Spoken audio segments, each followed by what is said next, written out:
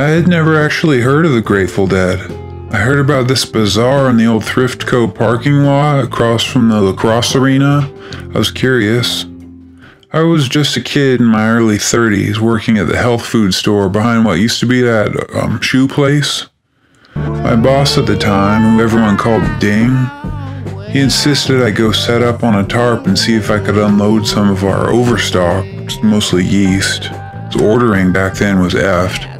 Like a sticky trapper keeper with a scrawl of four different malnourished part timers. They're baked and vegan. They wrote just like amaranth bucket and moved on. Anyway, we had all this yeast mostly, plus these noogie balls that Ding was trying to get going as a side thing. He said I could borrow his Jeep for the whole week if I do the swap meet thing. It was a dumb idea. Ding didn't know the scene, and I wasn't thinking about anything except dune buggying in those days. Had not yet discovered my passion for small scale health food store middle management. So I'm hunched there, legs crisscross getting scorched, no clients, horrible music filling the air, and my buddy Peanut Butter walks up with this classic Cambria Wanderer, who I swear was wearing flip flops fashioned out of squished down water bottles and jute rope. I was like half dozing, probably had sunstroke, and Peanut Butter kneed me in the shoulder to wake me up. This is Lee from up by Abalone Cove. He's got a question about beans. This was the first time I saw Lee. He mumbled some convoluted idea about trying to source wholesale black beans for this hacky sack business he was trying to get going. Baguettes, beans in bags or something. In hindsight, it was actually a pretty tight idea. Hacking was just getting going back then, and people were just making their own sacks out of rock filled food packaging. Leather and beans was a stroke of genius. Unfortunately, we were idiots. It's funny now to consider what might have been if we'd grabbed that train. Maybe we're better off. Money poisons the soul. Or so I hear.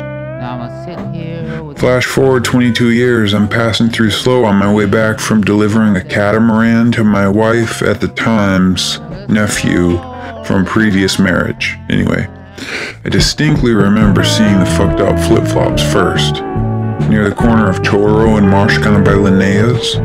It was definitely Baggett. He was running full bore, laughing maniacally, with 32 ounce smoothie in each hand, just long hair, demonic, chasing no one, just laughing and screaming. I pulled over my rig carefully. To this day, I'm proud to say I've never lost a load.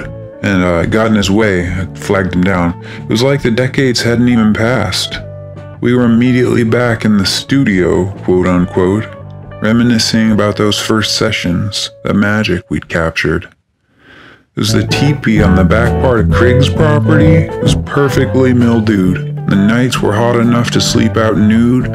The extension cord was just long enough to provide the juice to run the TEAC. Lee was tuned into something beyond gold. Dune buggying was the farthest thing from my mind when we dropped into There Goes My Toast. Mm. I seem to remember it was a 48 day session. Time stood still. The power was actually shut off by the county for a big part of that time. Craig's parents got wrapped up in that whole Ramtha cartel ordeal. When the dust settled and I was back in Carpinteria, I woke up with a sunburn, half a phone number, and an IOU, and ding was immediately like, back to reality. Wash out the bulk honey barrel. It smells like mushrooms. Oof. So apparently, yeah, the tapes had gotten out and made their rounds. They lost their labels, you know the story. Some dip in Burbank ended up releasing a vinyl uh, a bootleg, yeah, an unlicensed thing on a short-lived religious label, and then some goodwill trippers had kept their copies of that, and then the internet comes barreling down. Next thing we know, old Weird Lee is newly YouTube, uncut gem. Hence those two smoothies and the running like hair.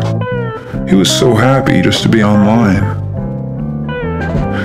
No, I don't play bass anymore. Lost my taste for it after that whole Layne Staley thing. As far as I can tell, though, Lee's been going strong in his own corner of the universe, mostly orbiting around the coin op showers in the marina up by Morro. Me, I'm the interim manager at the store now, mostly doing specialty yogurts. Lost touch with all the other guys from that time. Heard Ding's Noogies got huge though before Enron, and I gather the Grateful Dead is broken up. My son's shithead friend won't stop coming over, and our garage smells like raccoon piss. Anyway, what was the question?